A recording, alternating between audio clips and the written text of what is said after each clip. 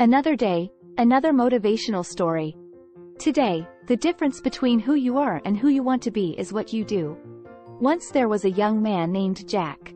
He had big dreams and aspirations, always dreaming of achieving something extraordinary in life. However, he never took any concrete steps towards his goals, always finding excuses to put them off till tomorrow. One day, Jack came across a quote that said, the difference between who you are and who you want to be is what you do. These simple words hit him like a ton of bricks, and he realized that he was the only obstacle between him and his dreams. From that day onwards, Jack started taking small steps towards his goals, such as waking up early, learning a new skill or reading books related to his field. He put in a consistent effort every day, and soon he started seeing the results.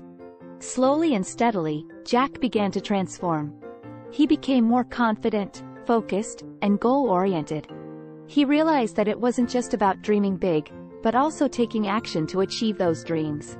Years went by, and Jack's hard work paid off. He achieved his dream, and people started to recognize him for his dedication and persistence. But he never forgot where he had begun. He knew that if he had not taken those small steps, he would still be where he was. In the end, Jack realized that the difference between who he was and who he wanted to be was simply the actions he took. The quote had become his guiding light, and he knew that if he continued on this path, he could achieve anything he wanted in life.